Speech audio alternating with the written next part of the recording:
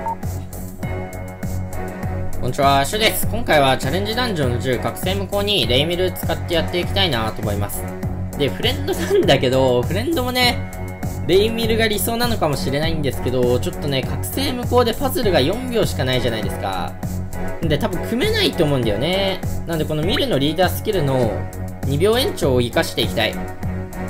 で、回復ドロップのね、十字消しっていう面では一緒なんで、まあ相性としてもそんな悪くないんじゃないかな。ということでやっていきましょう。で、ここ最初なんだけど、受け切れるんだよね、十字消ししとけば。なんで、十字消しして、若干スキル舐めしていきたい。うーんと。OK ですね。色来た。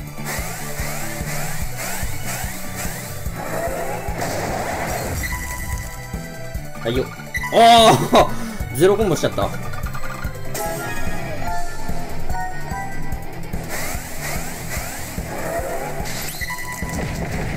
んで、ここで一回殴ってみようか。一色ないんだけど、意外といい感じに削れんじゃないかな。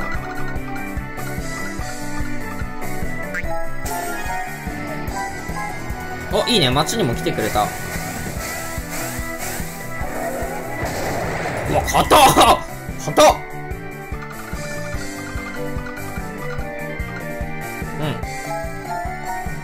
オッケー。で、あー、持ってかれちゃったか。ちょっともう一回回復の十字呼び寄せて、でもこんだけ減ってれば一色なくてもいけると思うんですよね。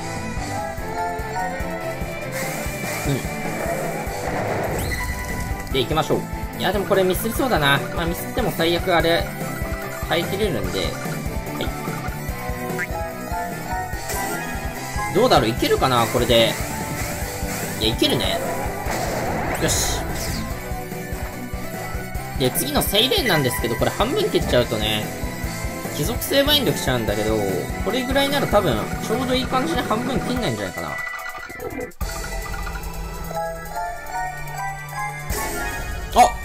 光来たけど、これは逆に倒せる気がする。オッケーオッケーオッケーオッケー。で、ここなんですけど、ここね、ワンパンしないとやられちゃうんだよね。やられるっていうか、リダフレがバインドされてどうしようもなくなっちゃうんですよ。白線無効なんで。なんでか、イザ投げ使って確実に倒します。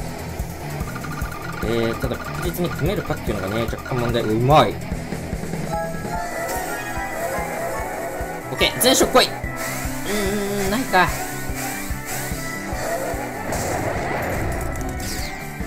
で、次の、この子が、水をね、毎回消してきちゃうんで、どうしても欠損っていうのがしょうがなくなっちゃうんですよね。はいよ。なんで若干落ち込ん、おいい、熱いいいね、いいね、いいね、いいね、いいね。で、この子さ、半分切ったら HP 回復しなかったっけ？しないんだよね。さっきからやってんだけど。さっきからやってるから、つまりさっきから負けてるんですけど。AI 変わったのかな？闘技場とかさ、半分切ったら絶対回復してきたはずなんだけど、なんでなんでしょうね。で、裏、かなと思ったら裏フェニックスでもないんだよ。勘違いしてんのかな何かを。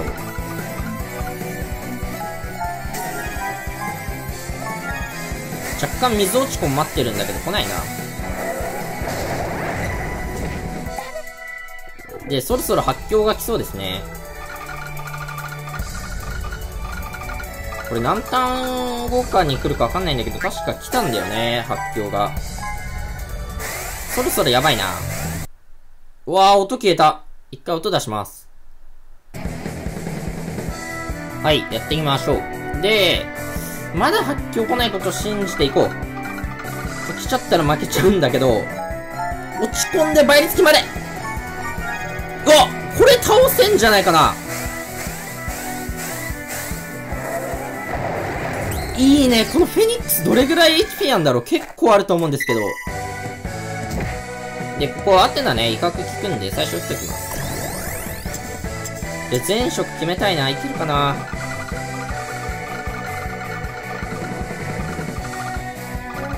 いやごめんなさい。水汲めなかった。もったいね。そう、こういう時でね、しっかり組まないとダメなんだけど、難しいんだよ。いや、ダメだ。これは言い訳だな、言い訳。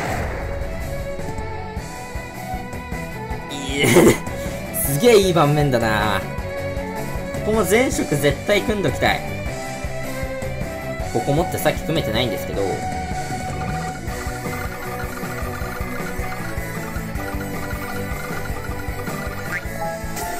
ほら、組んでる火の落としハイパー偶然だったけど。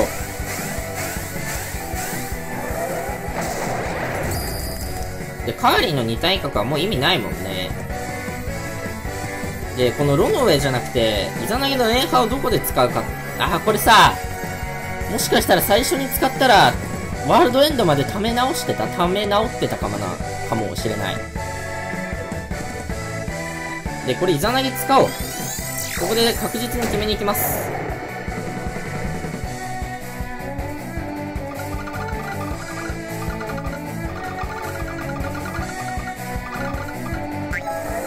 うわー、ごめんなさい、火組めてる。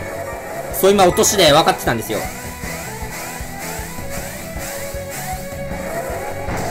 勝てーいや、でもいい削り。いや、マジで今回のチャレンジめっちゃ難しいんじゃないかな。レイミルで言ってるからかな。あ、そういえばさ、チャレダン11人もサタン出てたよね。あ、いいね。木の落ち込んの、あ、これ倒したんじゃないかな。いけよしうん。じゃあ、レジュ何で行くのが良かったんだろう。普通にみるみるで行くのが一番良かったのかもね。レイミルじゃなくて。はい、ということで、じゃあ今回これで終わります。バイバイ。